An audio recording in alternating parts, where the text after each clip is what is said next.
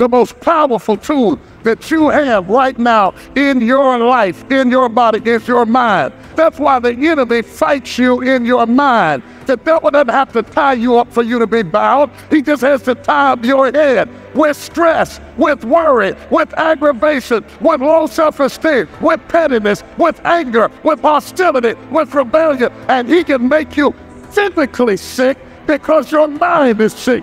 Lay your hands on your head and say, give me a new mind. Give me a new mind means give me a new perspective. Give me a new perspective. Give me a new way of looking at my situation. Give me a new way of looking at my circumstances.